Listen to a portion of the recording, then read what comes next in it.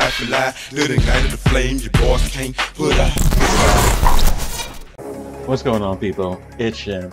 And as I told you before, it's going to be a lot of changes coming to the channel. I was going to share a little bit more with you all as far as what I do, as far as my spare time, I guess, or other interests that I have, maybe like that. And one of these things is I like doing sound systems for vehicles, things of that nature. So I have an Equinox that I want to actually work on a little bit and what I did was I made a speaker box with here. And at the end of the video, I'll give you a sample of what it sounds like as well. And if anything else, you have any questions as far as what I did, just ask a question and I'll get to you as fast as possible. But the project was completely done in 3D printing as far as the box is concerned. This is actually the largest 3D printing project I've done personally for myself here. I've done other small things for around the house, like shelves, things of this nature, but nothing to this size. So this is the first time that I made a project this size here. Now the whole process took 12 hours to print.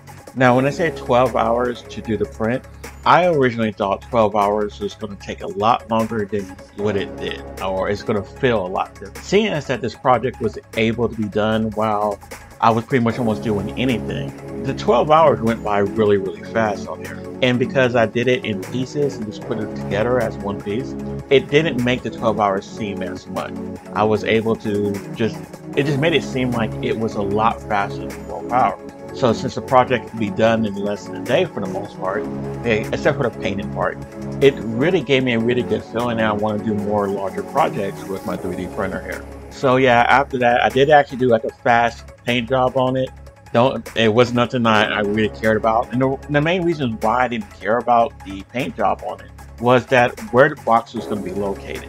I did put a little felt fabric on the top where the speakers are at, but that's about it. Kind of, I wanted to see if it would blend in more, but now that I looked at the colors of it, didn't blend in as much as I thought it would. Even if I open the trunk temporarily, just to put something in there, again, no one's really going to see it there. It's, it's pretty, it's not stealthy, but it's semi-stealthy. I'm going to call it semi-stealthy. Now, the speakers that I'm using are just really the Crunch 4x6s. I think they're like CS 4x6 or something like that.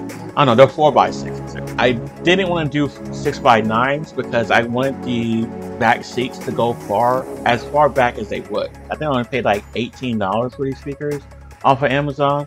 So the speakers were cheap. Like the whole project didn't cost very much me. And I originally designed it to be the whole width that I could, that I wanted to, on from wall to wall. But if you notice in this picture here, you'll see where these two little nubs or whatever you want to call it stop me from being able to do that.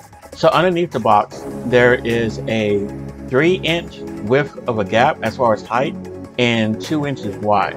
So the only thing I have underneath there is the line converter as well as a mini amp. Let's say now again, it's supposed to be semi-stealthy and like that. And I went on my trunk space. Now the main reason why I went with 3D printing over wood was because of the cost and because of the time. Those are the main two factors I wanted. With 3D printing, also I could get a better design of a box. And again, time was a major factor. With the filament, I can work on it and get the box and work on the box while I'm working. I do a full-time job. So being able to work on this while actually working was great. Didn't take up much of my attention. Once I have it start printing, all I do is just check on it every once in a while. That's about it. I don't have to do anything else. Working on wood, nothing's going to get done unless I do it. And that was another major factor for me doing the actual 3D printing of it. And now I'm going to do a little sound sample for you all, uh, let you know what it sounds like. If there's any suggestions or anything you think I should have done or may want to try out next time. So here you go. Shin, I'm out. Go.